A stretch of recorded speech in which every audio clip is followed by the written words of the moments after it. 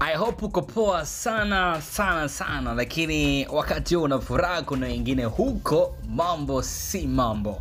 Wakati una enjoy na mahusiano yako, wengine wanalia sasa hivi na mahusiano yao. Kila mtu ana sababu za kuachana na mtu aliyokuwa anampenda. Hebu niambie kitu gani kilikufanya wewe uachane na ambaye unampenda? Kwenye Sonuka nataka nikusonoe penzi la Rozi Ndauka pamoja na Hafiz uh, limefika kikomo, limefika mwisho kutokana na posti nzito ya Wajeusi. Ukishaona Wajeusi limepostiwa unajua kuna mtu kashalia huko. Sasa uh, mnamo Aprili 18 mwaka 2020 uh, Aprili 18 mwaka 2020 Rose Ndauka na Hafiz waliweza kuoana, na hii ni siku ambayo nilipata nafasi ya kufanya interview na Meda akafichua mengi sana. Sasa leo nimejaribu kumtafuta sana Rose Ndauka, hajaweza kushika simu zangu, lakini pia nimemtafuta sana Hafiz, hajaweza kupokea simu zangu. Nilitaka kufahamu uh, nini kinaendelea kuhusiana na ndoa yao. Sasa ukweli ni huu hapa kutoka kwenye posti ya Rose Ndauka ambaye amesema kwamba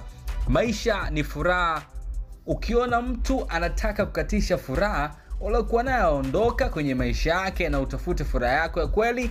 Usikubali kunyanyasika kisa tu amekoa, yaani kisa tu amekoa eti basi ukubali kunyanyasika, usije ukakubali. So uh, ukiona wewe unanyanyasika, basi sepa kwenye maisha yake. Hashtag inaenda hivi kuzifikia ndoto ni muhimu. So kama unataka kufikia ndoto zako, basi hakikisha kwamba kunyanyasiki kwenye mahusiano ambayo uko nayo. So hii ni jumbe ambayo rozindauka inaonyesha namna gani ambavyo amechoka na manyanyaso ya Hafi, hivyo alivyokuwa wanapendana vile, kwamba sasa hivi manyanyaso imekujaje tena jamani? so alisema waachani hawa. Uh, Hafi alienda mbali zaidi na akasema ndoa yao itakuwa kama Kikristo hivi, mume na mke mmoja, hamna kuongeza mke tena. Sasa imekuwaje? Masta wengi walikuja comment, akiwemo Antizika akasema shua kwamba shua, tusikubali, yani usikubali kabisa kwenye maisha yako eti ukanyanyasika. Kuna shabiki alimjibu Antizika akasema, ulipoanza kujitia kurap tu nikajua yupo njiani kuachwa, wacha ncheke mie niondoke mwenye sawa. Huyu ni shabiki ambaye amesema kwamba nilijua tu ulipoanza kuchana tu na mimi nikajua kabisa lazima penzi lako halitafika mbali. Madi akasema ushaachwa eh? Sawa.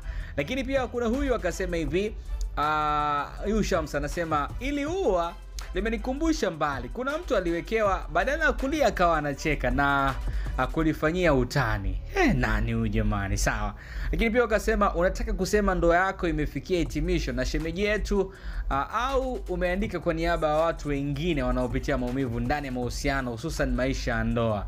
Eh, duru za umbea noma sana. Wajeusi tena mai wangu nitaweka wapi sura yangu? Anaitwa Udaku anasema nitaweka wapi sura yangu? Kaka keke kiki koko kuku kuku. Mashabiki kwa comment hizi awe usiliache.